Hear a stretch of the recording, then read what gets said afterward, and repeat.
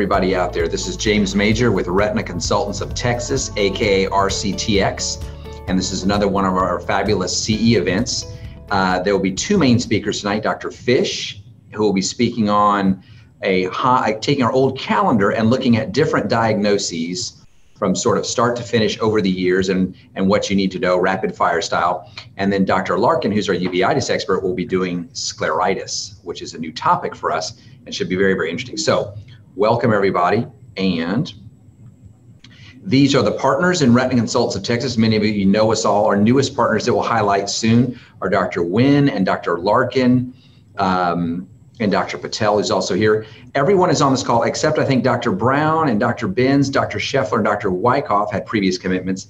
Everybody else you see on that picture are here. So very important. We want to keep this interactive. So please text questions in the in the in the chat Zoom text box. We want to have questions. We want to answer your questions, anything whatsoever. And then sort of the panelists that are not actually speaking will rapidly answer those. So please do not be shy. Questions, questions, questions. A little bit some housekeeping items before we get started. We, of course, have the Greater Houston Retina Research Foundation. This is our uh, nonprofit 501c3 arm that provides excellent research opportunities to our patients. So this is wonderful. Again, this is a our, our research entity that is separate financially from Retina Consultants of Texas. and this is what we use and, and essentially handles the money and the finances uh, for our very large, one of the largest in the nation research programs. It really benefits patients. We have one of the strongest research programs in the nation retina wise, and we're able to provide patients with outstanding care who otherwise couldn't receive it. So thank you. Uh, there's a map of our offices. Throw a dart at Houston, as I said before, and pretty much anywhere, north, south, east, or west. We're going to have, we will have an office. Um, our newest office that I mentioned last time, brand new, it opened about two months ago is our Bel Air office. It is on the corner of Newcastle and Bissonnet. The, we own roughly 16,000 square feet of the second floor. So that is our flagship office, which now holds our uh, the Greater Ret, uh, Greater Houston Retina Research Foundation, as well as our clinical entities. So many days, three uh, MDs are there. Dr. Larkin will be there, along with uh, two of some of the older Retina Houston's of Texas doctors, uh, all holding clinic there. It has everything you need, facilities, facility wise in terms of the highest uh, end imaging equipment, very, very high tech imaging equipment, as well as lasers and anything else we need to treat to treat patients. Pneumatic retinopexies, it's all there. So that is our flagship office. And there's a picture of it. Again, it's on the corner of Bissonnet and Newcastle, right basically where 59 intersects with 610, right in that corner near Episcopal High School, if you're familiar with that. And you can see listed at the bottom the doctors. We still maintain our Scurlock office in the medical center itself next to Methodist. And mainly Dr. Fish and Dr. Scheffler see patients here. So Dr. Fish and Dr. Scheffler, in addition to seeing patients in Newcastle Bissonnet, also our old medical center office, which we still maintain, uh, is really um, run by Dr. Fish and Dr. Scheffler. I'd like to extend a welcome to Dr. Larkin, who will be speaking. She'll be our second speaker tonight.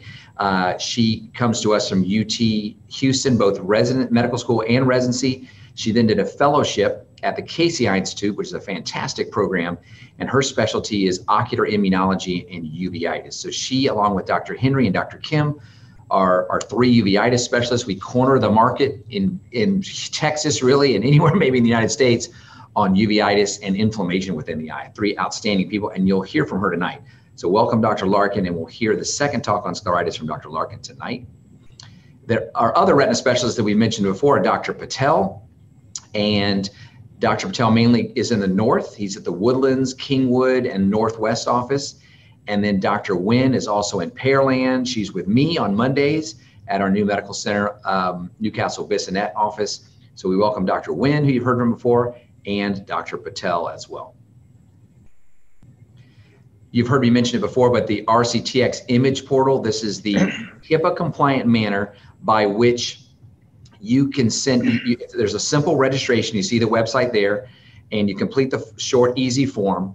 Once your email is confirmed and you get into the platform you will then be able to send us hipaa compliant information with all the patient information you need including names color pictures of a presumed horseshoe retinal tear or CHRPE or melanoma or whatever it may be and we send the same way back. So this is essentially a modern era that gone are the days of the old fax machine where you sent a picture or drew a picture on a piece of paper.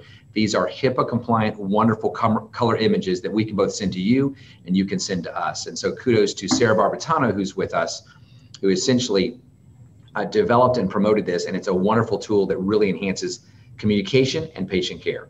That's the RCTX image portal. Any questions about that? Sarah will have her email at the end of the talk, and please email her. But signing up is very easy. And once you do it, that's it. Dr. Fish, are you there? Dr. Fish has a wonderful talk, and he always spices his talks up with not just ophthalmology, but some learning perhaps about music or other things. I have a sneaking suspicion that we're going to hear about some good groups musically. So, Dr. Fish, take it away. The floor is yours. All righty. Okay. Uh, am I muted? Everybody hear me? Yeah, you're fine. Okay, good. Well, James, thank you for uh, the introduction. And yes, so I was uh, asked by Sarah to do a CE talk, and uh, she said, Well, why don't you just kind of take some of the old cases that we've done from calendar cases, um, you know, from years back? And I said, Well, okay, that sounds fine. And then I started thinking about, well, what what can I call that? And so I came up with the title Yesterday and Today, which is coincidentally the name of a Beatles album. But so I'm going to diverge for a second and give you a little bit of Beatles trivia. In 1967, the Beatles released Sgt. Pepper's, and then all of the records after that, Sgt. Pepper's through Let It Be, were all the exact same in the United States as they were in the United Kingdom. But prior to that, Parlophone and EMI in the United Kingdom only released seven albums. Those are considered kind of canonical. But in the United States, Capitol Records wanted to make, well, they wanted to capitalize on the Beatles' success. And so they, only, they released some 11 or albums that were shorter, had fewer songs. And uh, basically, one of those albums is called Yesterday and Today. This is the album cover that when I bought this record in about 1965 or so, that's what it looked like. The four lads casually posed there in this little steamer trunk. But the original cover art for this album, Yesterday and Today, was this.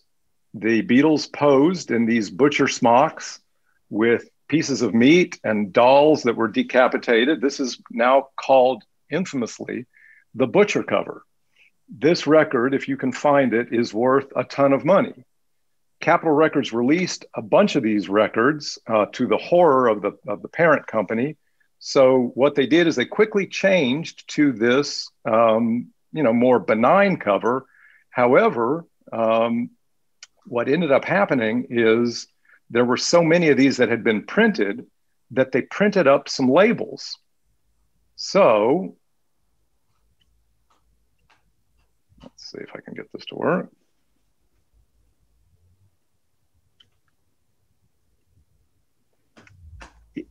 These labels covered over the butcher cover. And so if you can find a record that kind of looks like this and looks kind of old, it might be a butcher cover yesterday and today. And if you find one of those, then you could be a millionaire, which is kind of the format of our of our show tonight. It's kind of a quiz show, and uh, they kind of the questions kind of start pretty easy. They get harder and harder, and towards the end, very very rare things that you may never see. But luckily, we have Dr. Sagar Patel, who is going to be our full time resident audience, phone a friend, lifeline person. So Dr. Patel will fill in the blanks. But the idea of this is that as soon as we present a case, if you guys can start typing away at the answer in the text, and my partners will be looking out for this, we'll give you a few seconds. And uh, hopefully we can get some answers and recognize those people who chime in with the correct answer. So, is everybody ready to play Who Wants to Be a Millionaire? First of all, I just want to acknowledge that all of these cases that we've been doing the past 29 years of calendars, and as the time flies by, it's just, just important to recognize that you guys were the source of the vast majority of every one of these calendar cases. We're all referred by doctors like you. So these are the most interesting or the most photogenic cases from each year. Okay, our first question is kind of an easy one. So ring in, chime in, whatever. What is this?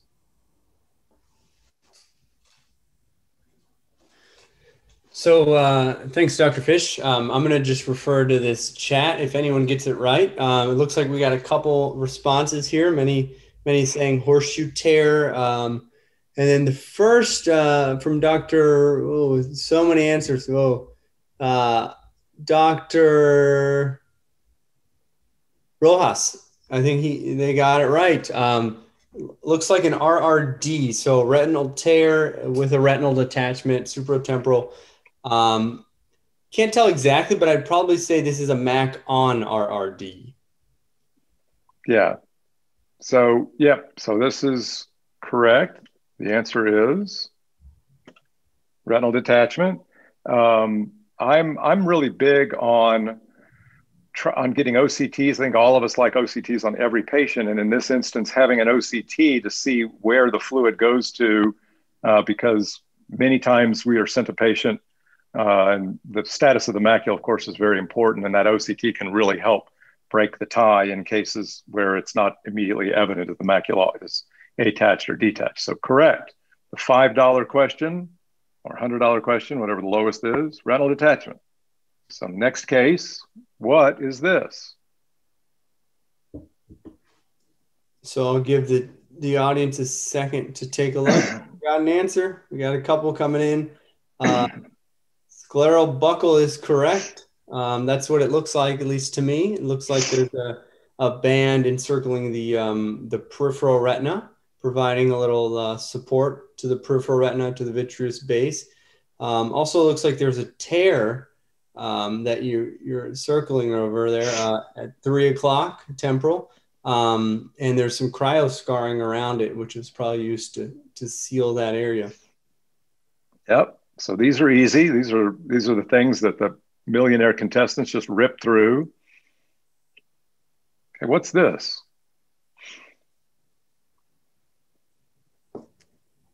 Hmm. This is the $250 question. Oh, there we go, Dr. Reese. Um, it looks like I'd, I'd say this is probably macular degeneration, the dry kind, um, particularly with uh, central GA. Um, pretty significant center involving GA. I'm sure the patient doesn't see so well. What's interesting about this is um, we actually have studies for this now. Um, before, you know, we didn't really have any options for these sort of patients. We tried all sorts of things, but now we're trying a couple of drugs that are proving to be uh, pretty uh, pretty exciting and may offer a treatment for these patients. Yeah. So geographic atrophy. And yeah, we have clinical trials for this. I think the important thing that I'd like to emphasize about this is not every practice, uh, optometric or even retina practice has autofluorescence. Autofluorescence is key to following this and making the diagnosis. You can sometimes get a pretty good idea of a patient having geographic atrophy from the OCT scan. But if there's ever a doubt as to whether or not, gee, I wonder if this is dry, I wonder if it's wet, I wonder if it's geographic atrophy, don't don't necessarily write off, oh, you don't have to go see anybody, because there are areas of geographic atrophy that can be sometimes very difficult to spot on conventional exam or OCT. And we are happy to evaluate any patient that you suspect might have some benefit in a clinical trial, even if they look to be completely dry. So, yes, geographic atrophy. Here's the next question the $1,000 question. Hmm. Oh, there we go. Dr. Brown, right off the bat. Um, I think it's probably a melanocytoma. Could be confused with a melanoma, but important distinction there. Um, with this, it's it's typically benign, which is uh, the, the more important characteristic that differentiate, differentiates it from a melanoma, but it can look pretty similar. Yeah, Dr. Scheffler's not on the call, but I called her this morning and said, Amy, uh, malignancy rate of melanocytoma. And I thought it was like one in a million or something, like finding a Beatles butcher cover or something. And she said it's 3%, which was surprising to me. So uh, that's a higher number than I would have imagined. So although I, it doesn't change my worry level, and probably shouldn't change your worry level, it does sort of point to the need for regular follow-up photography and monitoring of these patients because it's a non it's a non-trivial rate of conversion into something malignant. Okay, here's the next one. What are we looking at here? oh, there we go. Um, we're getting a couple answers here. Dr. Rojas again coming through. Um, looks like uh, PDR with um, significant non-perfusion and NV peripherally. Uh, yeah, probably need to treat this person pretty quickly. With yeah, uh, I mean, or or injections. Yeah, we have a, a bit of a running uh, debate, healthy debate within our practice about what is the role of good old fashioned panretinal photocoagulation for PDR. I think all of us would incorporate anti VEGF treatment. There are, I don't know, probably a third to a half of us that would still also, in addition to anti VEGF, would do PRP. But this is a patient that is high, high risk proliferative diabetic retinopathy and, you know, very, very close to vitreous hemorrhage and loss of vision. All right, this is like the 2,500 to $5,000 question, a little bit harder. Yeah, definitely getting harder. This is the autofluorescence, which kind of highlights the, the small, maybe you would call them very small, maybe punctate, maybe white. I can't remember. Is there a Latin word for white, maybe? Hmm. Vitelliform dystrophy, but uh, maybe. I, looking at it, you know, it does, as you mentioned, Dr. Fisher, I do see a lot of small yellow white dots in the retina. Um, I would say probably fundus albipunctatus. Which is which, uh, correct. Uh, the, the lifeline comes through. Way to go, Dr. Patel. Any, did anybody in the in the audience get this one? Uh, we got some close responses, but not not. Right. We had uh, a couple people in the in the Q and A got it. Oh yay! Awesome. Yes, actually, a couple definitely mm-hmm. on the Q and A. This is a tough one because I mean I've only seen two, maybe ever. So, you know, if a retina practice sees one a year, that's like a big year. So it's it's not something that's terribly common, but it's very striking when it does come in. Anything else to say about fundus albi? So um, it's pretty rare disorder, but typically what's interesting is that it looks really bad, but the patients generally do okay. They do tend to have some night blindness in childhood, but they um, they don't tend to progress. Center involved, the, their center vision can can be pretty good, um, and and it's nice that they come in with this pretty unique finding. But they they some of them come in. You know, I've seen a couple patients where they come in, they didn't even know they had this, um, and they just saw an eye doctor and and they picked it up. So yeah. not as bad as like, you know, RP and stuff, but. Yeah, fundus albi. Yeah, it's one, it's one of the congenital stationary night blindnesses. All right, what's this? Maybe it's actually possible that our doctors online know this better than we do. I didn't really know what it was when I first saw it.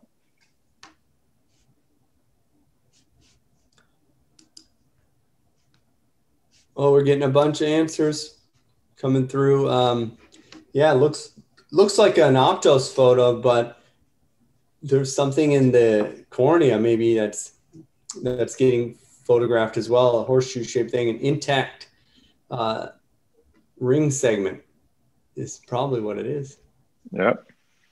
So this is a patient with keratoconus. Sometimes when you take an Optos picture, you get interesting things that show up as shadows. So sometimes a dislocated IOL, an intact corneal implant. We've had several really cool Optos pictures that while it's trying to focus on the retina, you just get something pretty interesting looking in the anterior segment. So rapid fire. Okay, what's this? This is an older picture. This is a montage. So see how these pictures are all being stitched together. This is before Optos. This is the $10,000 question. Hmm. Yeah, Dr. Brown. Um, looks like something bad. Uh, I'd, I'd say it's probably melanoma, choroidal melanoma. That's exactly right.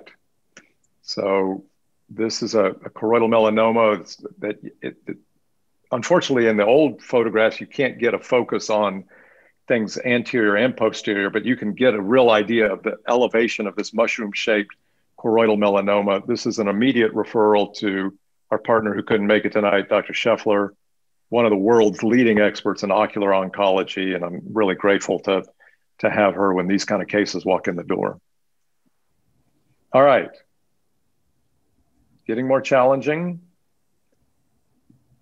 Hmm. Let's see. A little bit of optic, optic nerve swelling here, maybe a little retinal lesion. The characteristic thing here is this what's called a macular star figure. Yeah. And all of these things are classic for this condition. We're getting a couple um, neuroretinitis, cat scratch. Yep. I think that's Boom. it is. That's Probably it. Bartonella. Dr. Henry, what's what's your what's your preferred treatment for Bartonella or cat scratch neuroretinitis? So if we if we've proven it's Bartonella, um, I usually treat with doxycycline and rifampin uh, for four to six weeks. Um, you can also use azithromycin. And not every case of neuroretinitis is actually Bartonella. Um, so you, you can also get it from uh, syphilis, t- tuberculosis, um, toxocara can look like this, rickettsia, uh, but the great majority are going to be Bartonella. Toxoplasmosis, actually, too. You can get yes. toxo. And, and a lot of these patients, I'll also, once I've confirmed the diagnosis and started antibiotics, um, I'll, I'll put them on oral steroid taper as well, particularly if they have a lot of um, optic nerve swelling or a lot of macular edema. Yep. Really a great case because it just kind of demonstrates some of the very, very treatable entities, uh, infectious entities was also a fantastic calendar case, probably that's probably 15, 20 years ago. Okay. These are interesting and very pretty when you see them. And they are. Yeah, there we go. Dr. Martinez, bear tracks. So looks like a little bear's footprint kind of all over the place. I think the, the interesting thing about these is, you know, you can have a, a couple CHRPEs be a normal finding. But when you have a lot of them like this, where they're grouped together, you actually you want to start thinking of uh, systemic diseases um, like Gardner's syndrome. Um, they can give you colon cancer as well. So this is you know it's, it's a helpful thing to keep an eye out for. So here's interesting thing, and I, I learned this one from Dr. Major.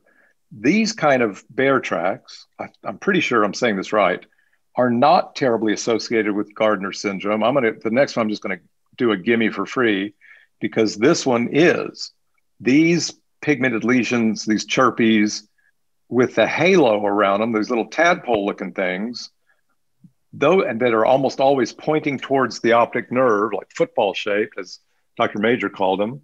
Those are the ones that have the association with familial adenomatous polyposis or Gardner syndrome. But the other one, the regular bear tracks, I think if I'm remembering a, a CE talk from Dr. Major many years ago, that they're not terribly associated with with Gardner syndrome. James, am I am I saying that right?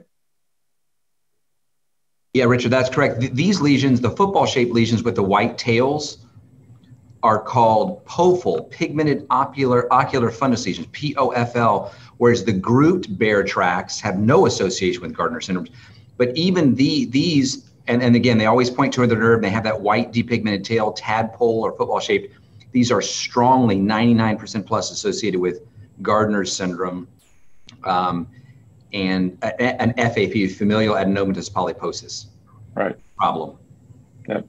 Totally different, even though they call the other called the atypical CHRPE. Right. And then in contradistinction, here's another one. Anybody get this? And man, this is like this is easily at the hundred thousand dollar level if you get this one. Oh, there we go.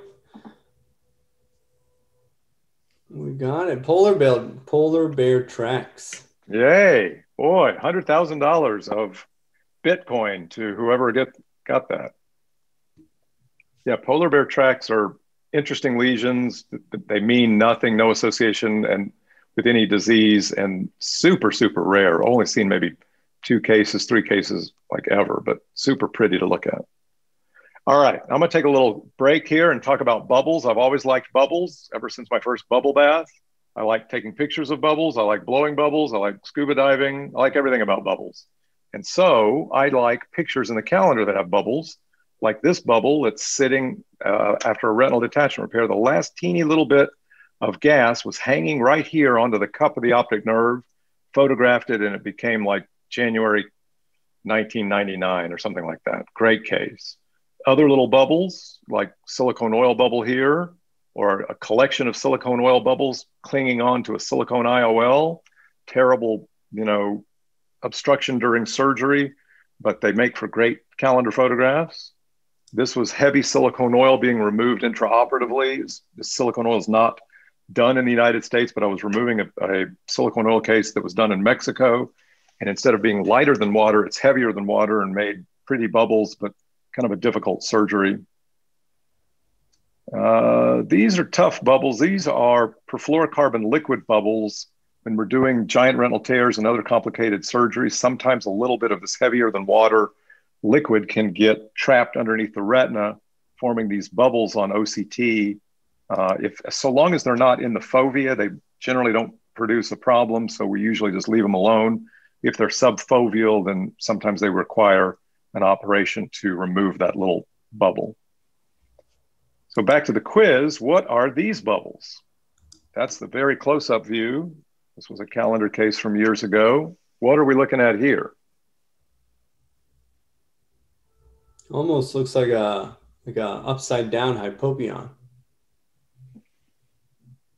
That's exactly right. We call this a reverse hypopyon, And this is a really interesting case. We didn't do this, but came into our practice. Notice the patient is faking. I haven't a clue how this happened, but this is emulsified silicone oil that migrated into the anterior chamber and forming this reverse hypopyon. This was the cover of a calendar. I'm going to kind of blow through a little bit of these, gang, just because I'm a little short on time and I, I don't want to take up Dr. Larkin's time, but this is a silicone oil bubble, again referred in from another practice, in which an IOL is floating on the lower surface of this. Terrible disaster case. I can't remember who operated on this patient uh, to try and correct, remove the IOL. I want to say it may have been Shaw, but uh, anyway, this was this was this came to us in very bad shape, but made for a very striking image. All right, back into the deep recesses of RCTX, RCH, VRC at the time. This is very rare. Type them in quick because I'm rapid yep. firing at this point. CMV. Yeah, CMV retinitis. Very common in AIDS patients in the uh, mid 90s. Came here in 92, and about half my practice was HIV, CMV retinitis and a similar cousin. Anybody type it in quick? This is the lightning round. We got a couple frosted branch angiitis. Yeah, seriously? That's great. This is the $500,000 question. So, Sagar, you want to kind of riff on this for 20 seconds? Yeah, so um, big differential here, but you you know, you want to rule out infectious etiology. So um, herpes, CMV, uh, ARN, PORN, you know, you got to do extensive lab workup. These patients may have underlying diseases that immunocompromise them, such as HIV. Um, but this is going to be a, a vasculitis involves both the um, uh, it's so it's involving mainly the, perf, uh, the, the posterior arteries here, um, and the interesting thing about this is that uh, it can, you know, it's just so many things that can cause it. So you do really have to do a, a pretty big workup. But you know, you're thinking like lupus, um, sarcoid, acute retinal necrosis, that kind of stuff. Um, that that could do it potentially. Yeah, super striking appearance when you see it. Rare that we see vasculitis that wicked to put to give you this sort of frosted branch appearance. So a lot of our calendar cases came when we got new toys like a wide angle lens for the Heidelberg that you had to hold onto the eyeball. It's about the size of a hand grenade called a Staurenghi lens. we were super excited when we got this thing called OCT and we could show central serous retinopathy with a little pigment epithelial detachment or vitreomacular traction on these early generation OCTs. We were all super excited when we went to small gauge surgery and could take pictures with operating microscope with an intraocular foreign body, a metallic foreign body that I removed a long time ago, or peel an internal limiting membrane uh, and, and take pictures of it in the operating room. We were super excited about our new toys like a Pascal laser and took pictures and montaged them again before Optos became a thing and before anti-VEGF became a thing. This proliferative retinopathy was treated with these very precise grid computer controlled patterns from the Pascal laser. So this is a yesterday case. Uh, anybody know what this is? All my troubles seemed so far away from the fovea. But this may be just, this has never done anymore, but this is laser to a choroidal neovascular membrane. And then, then the yesterday part is now it looks as though they're here to stay, which is the recurrence that frequently accompanied uh, thermal laser. They would almost always recur on the foveal side. But we also bragged about this. This is, uh, I'll give you a hint, it's choroidal neovascular membrane, but this appeared in our, I believe, 2007 calendar, which gives you a hint. I, think um, that's probably a similar process, but now we have a new treatment rather than lasering it. We're going to treat it with an injection, uh, anti VEGF. Absolutely correct. So the today-ish part of this is choroidal neovascular membrane. We put in our calendar. We were pretty excited about the results from the Lucentis trials that we helped spearhead back in the day. These, this one is a very sad case. I'm just going to give the rest of these. This was a, a young woman who had psychosis as well as a drug problem and filled a tuberculin syringe with one cc of isopropyl alcohol, injected it into her eye through that little puncture wound there, which was lasered. Unfortunately, it infarcted her retina, gave her an air bubble too, completely just destroyed all the vision in this eye. It was just a tragic, tragic case, a, but a very striking image of something just incredibly rare. A um, couple last ones I'm going to blow through. This is the before, and this is after. We used to see quite a few of these in the late 90s. Uh, Sagar, did you ever see one of these? I have not. I have not put one in either. Um, for my time, but uh, I think it's a Miragel scleral buckle. That is correct. This is the operative procedure of taking out a Miragel buckle because these these scleral buckles that were put in in the early 90s by one of our partners who's no longer here, uh, and they were used across the country, but they swelled up with water. They caused enormous complications, and they were hard, hard, hard to take out. Every time you touched it, it crumbled into little pieces of cheese so you had to take a cryoprobe and freeze the thing to get it to be removed from the eye. Miragel scleral buckle. All right, this is the million dollar and last question.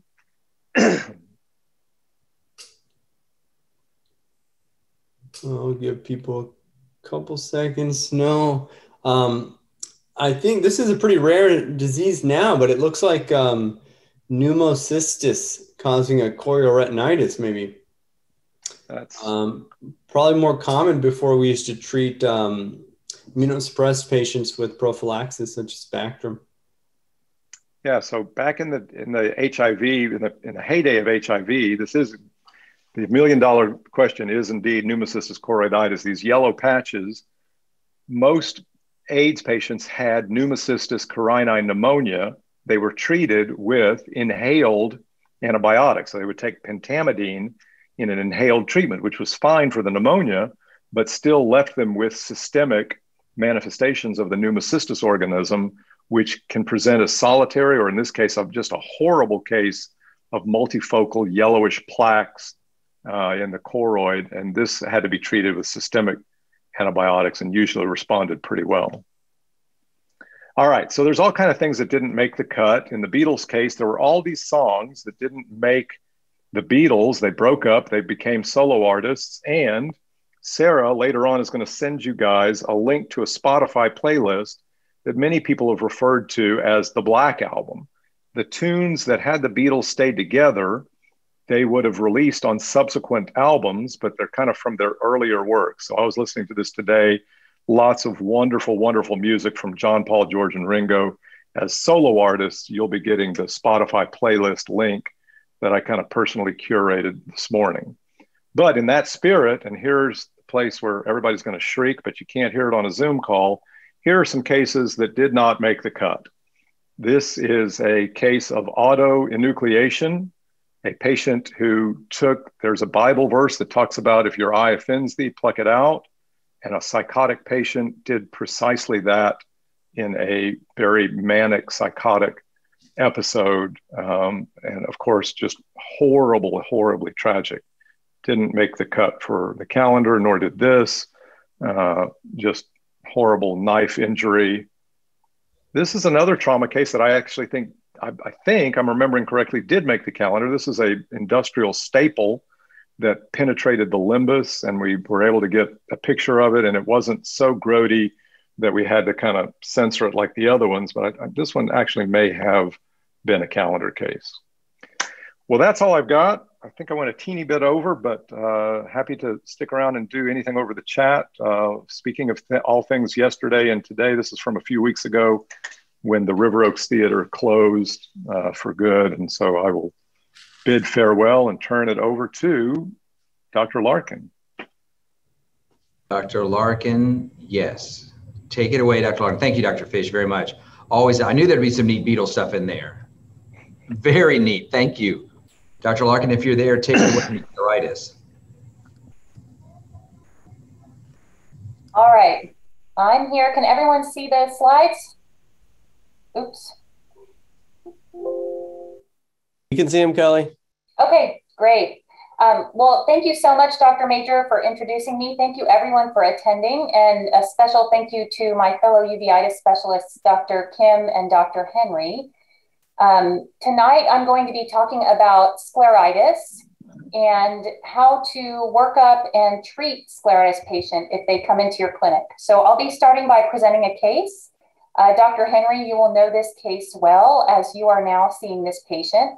And I want to thank Dr. Henry also for providing the photos that I'm using here.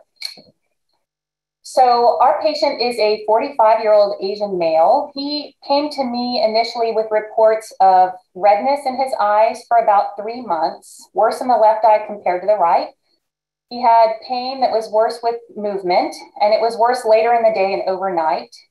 He was gardening at the time of onset, and he feels that some piece of soil or plant matter got into his eye. He was initially treated with topical tobramycin, but continued to worsen. So he was referred to a cornea specialist.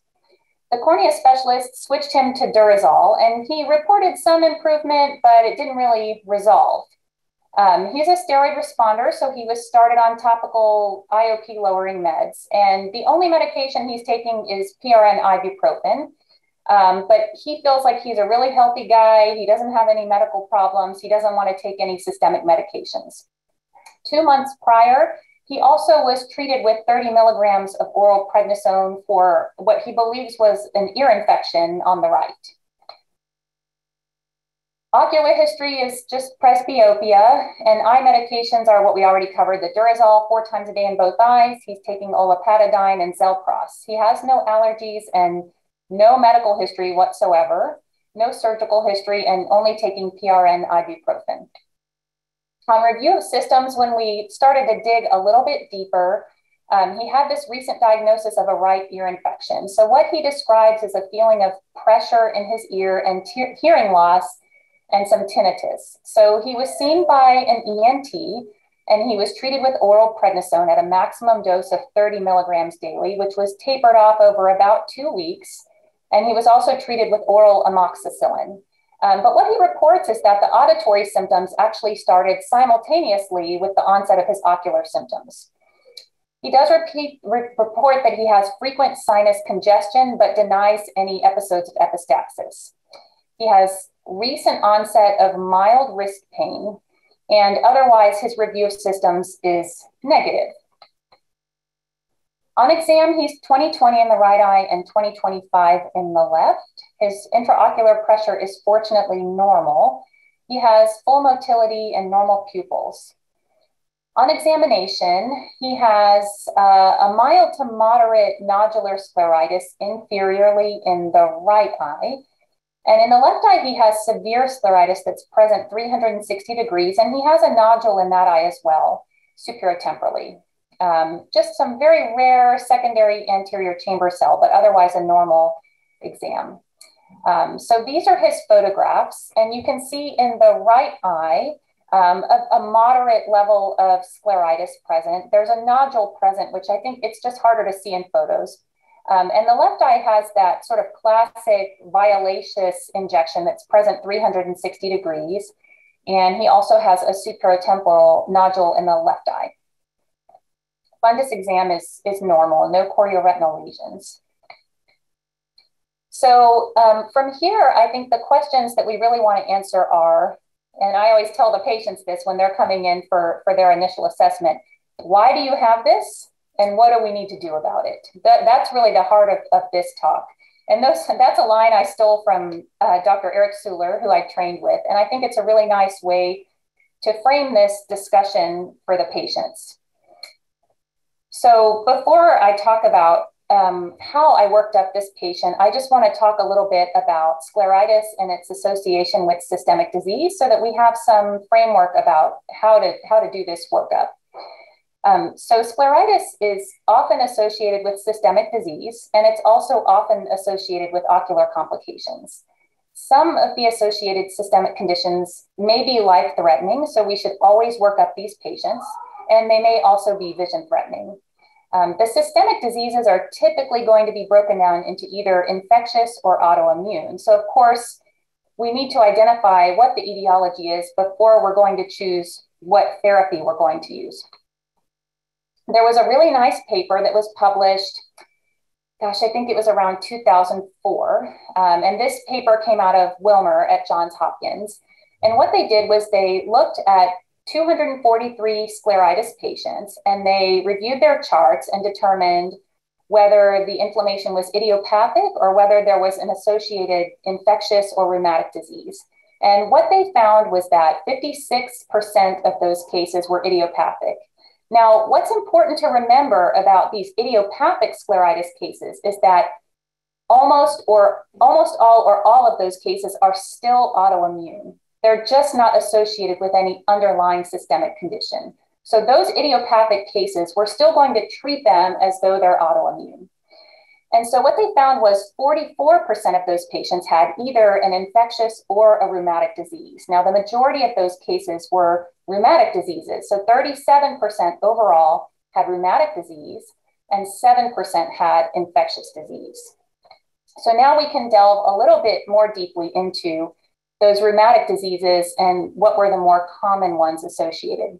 So again, overall, 37% of scleritis cases are associated with rheumatic disease. The most common one out of all of them is going to be rheumatoid arthritis.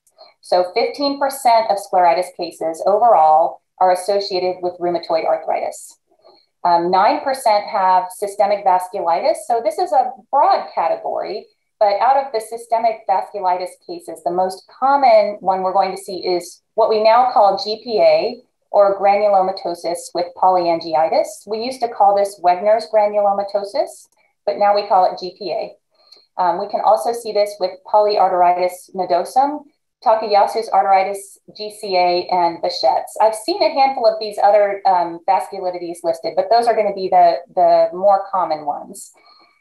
4% of scleritis cases will have lupus, 3% have inflammatory bowel disease, 2.5% have spondyloarthropathy. So this is going to be the HLA B27 associated cases like ankylosing spondylitis, reactive arthritis, and psoriatic arthritis.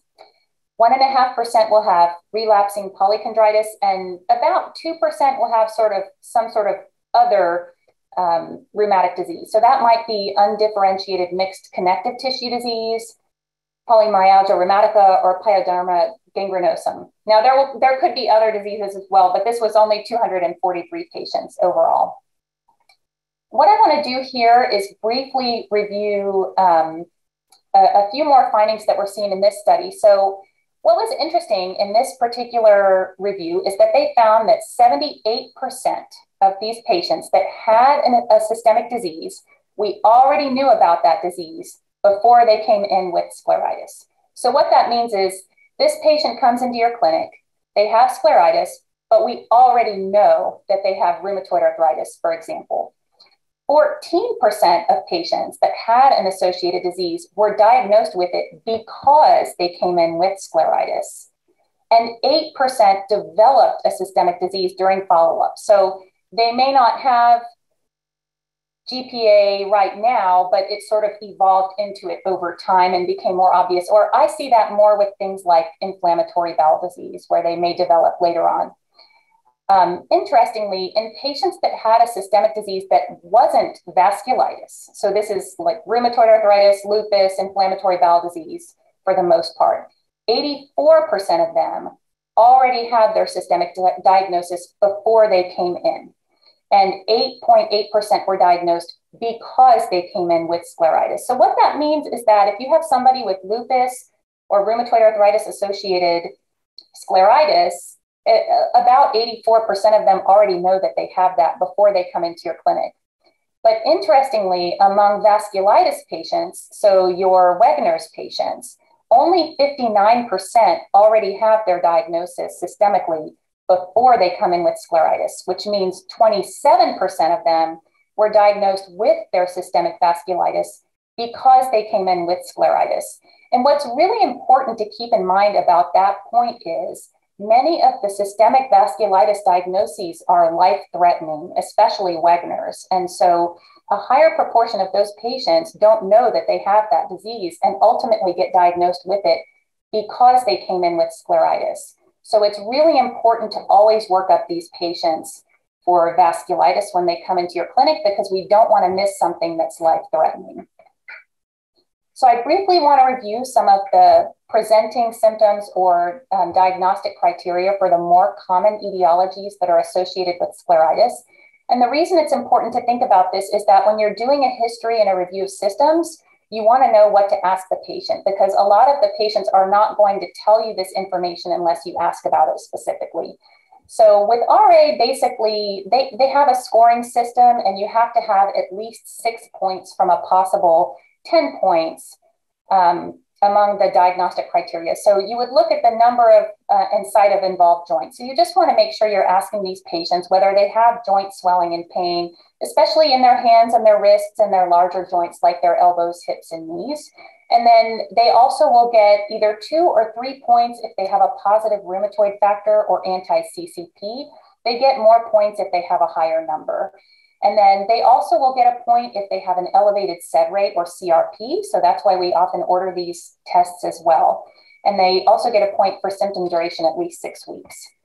With lupus, one thing that's important to remember is that we often test ANA in these patients, but an ANA by itself will not make a diagnosis of lupus. They have to meet at least four out of the following 11 diagnostic criteria. Um, so this is going to be the malar rash is that typical butterfly rash that we think of with lupus patients. Uh, photosensitivity, a discoid rash. They can have oral and nasopharyngeal ulcers that are usually painless. Um, arthritis involving two or more peripheral joints, so they'll have joint pain or swelling. Serositis, so this is going to be either pleuritis or um, inflammation in the lung lining or pericarditis. Renal disorder, which we're typically going to see with urine analysis neurologic disorders, which is seizures or psychosis, hematologic disorders, and then again, the positive ANA. So you want to make sure you're asking your patients about these things. And then GPA, um, which is also one of the more common findings we see with scleritis. This is a multi-system autoimmune disorder. And the classic presenting triad is this necrotizing granulomatous vasculitis of the upper and lower respiratory tracts. They also get focal segmental glomerulonephritis, and necrotizing vasculitis of the small arteries and veins. So these patients typically will have paranasal sinus disease as a classic presentation. So they have, you know, everybody in Houston has sinus congestion, so that is not a particularly uh, sensitive or specific finding with uh, Wegener's, but it's something I always ask about. This condition is reported to have an 80% one year rate of mortality if it's not treated. So we always want to make sure that we're thinking about this in these patients. Um, so they tend to present with constitutional symptoms, sinusitis with epistaxis, pulmonary symptoms plus or minus hemoptysis. Um, they'll have sort of a non-specific arthritis and hearing loss and tinnitus is a common symptom I see as well. We diagnose GPA with tissue biopsy ideally. Um, we should include a chest x-ray to screen for this as well, and they tend to have diffuse nodular or cavitary lesions. And then on lab work, the really important thing to order is ANCA. So there are two different types of ANCA that we usually look for, C ANCA and P ANCA. Um, the C ANCA is both sensitive and specific for GPA. And P ANCA is typically associated with polyarteritis nodosum, relapsing polychondritis, and renal vasculitis. Um, you can have either C or P ANCA with GPA. And they also often will have elevated sed rate and CRP, although this test, of course, is non-specific.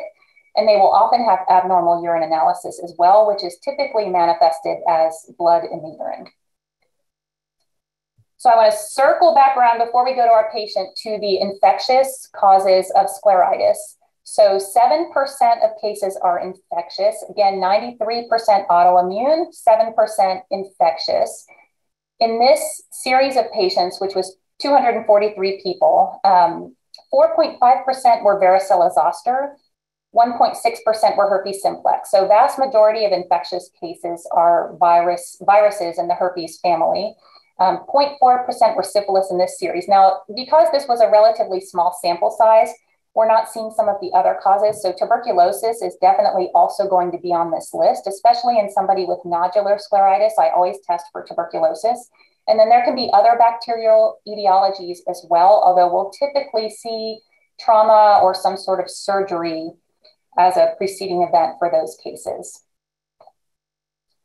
So the way that I handle a lab workup for a patient that's coming in with scleritis is I'll perform a focused workup that depends on their exam findings, their review of systems, and their risk factors. Typically, I get a CBC with differential and comprehensive metabolic panel on everybody. That will show us if they have anemia and if they have any kidney dysfunction.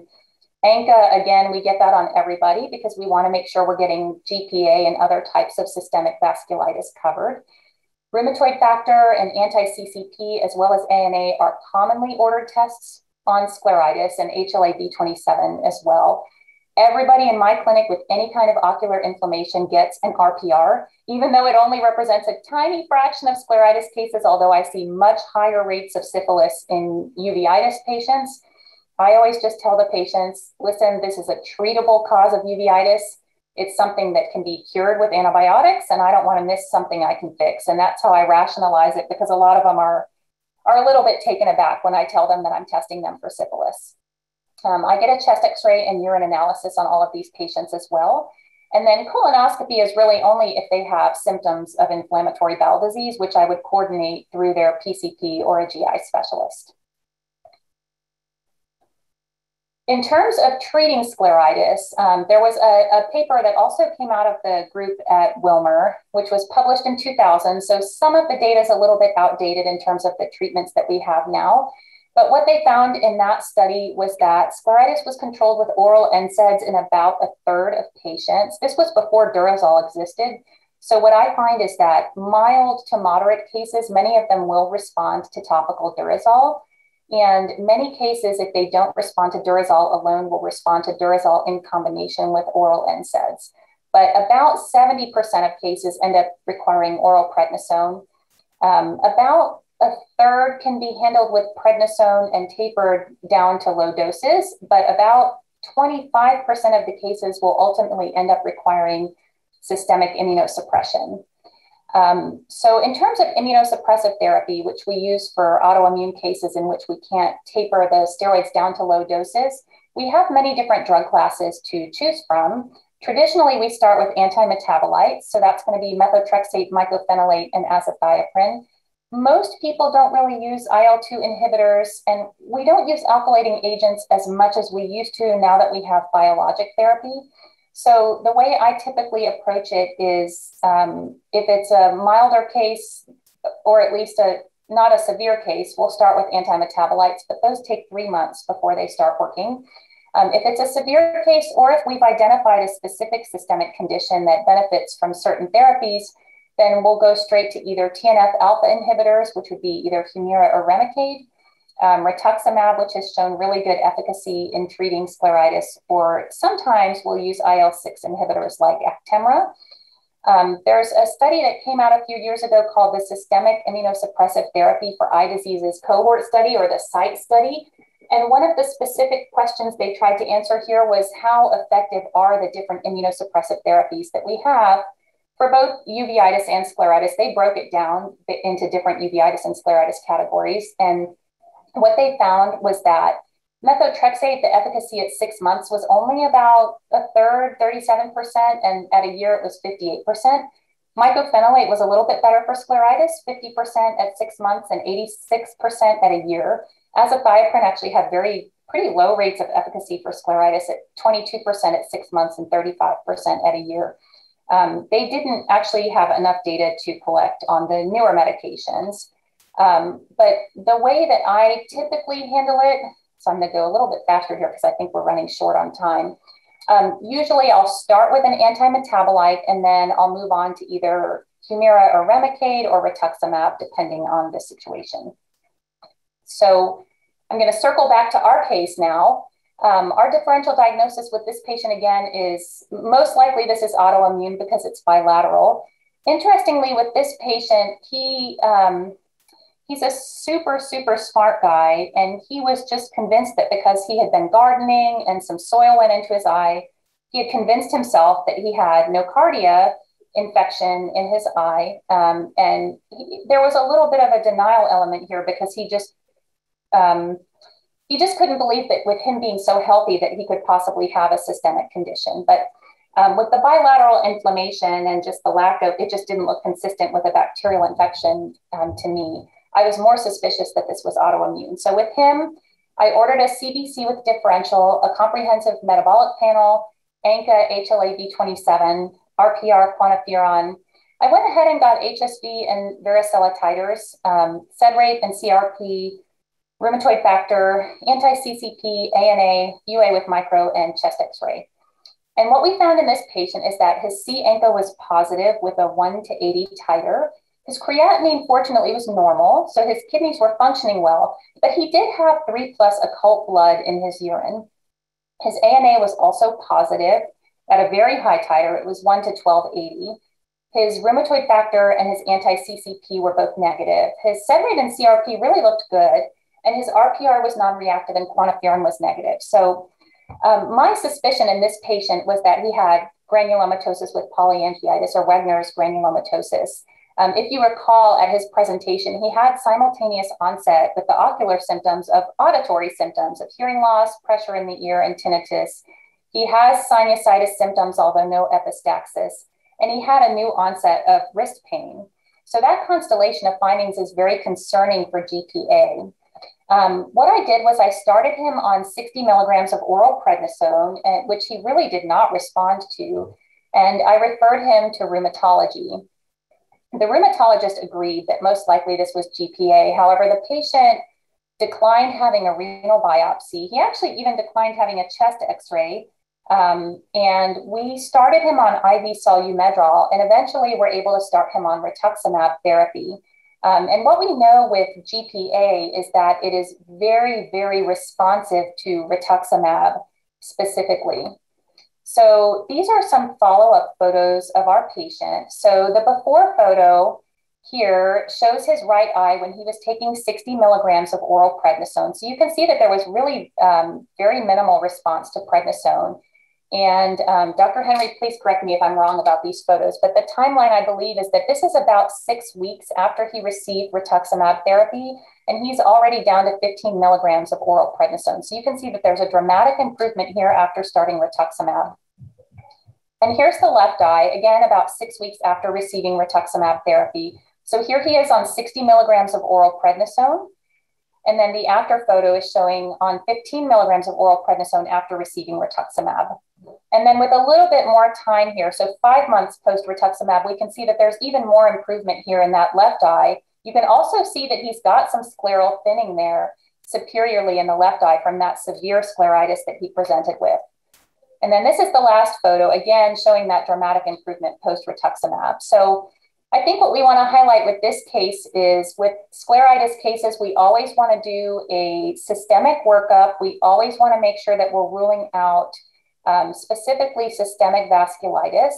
And this is an opportunity where we can really um, do something that's life changing for this patient by diagnosing a systemic condition that's potentially life threatening. And we also are able to use that systemic diagnosis to guide therapy and, and to get him on the rituximab, which is the appropriate therapy and has really given us this dramatic response. So I want to thank you all so much for your attention and open up the forum for any questions that anyone may have.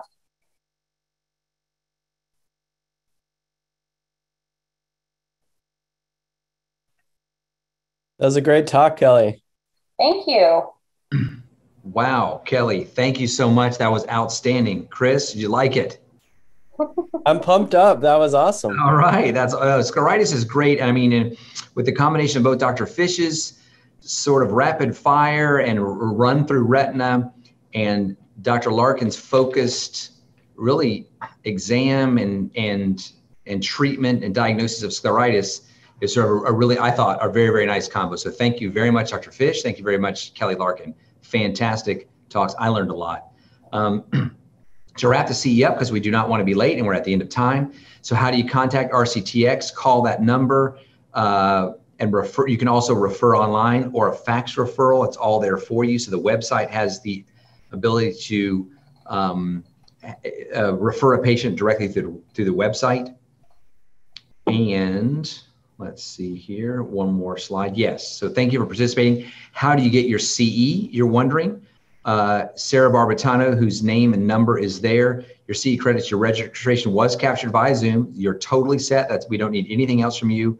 We will submit for you the one hour of therapeutic CE to the Texas Optometry Board.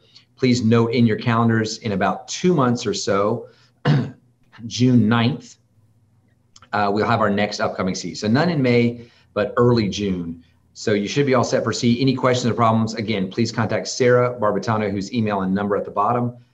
We're always very appreciative of the care you give our patients, and hopefully we provide for your patients. It's a two-way street. We know this, and we thank you very much and are honored to be able to participate in the care of your patients. Thank you very much for attending tonight's CE. See you June the 9th. Mark it on your calendars. Thank you so much. Thanks all.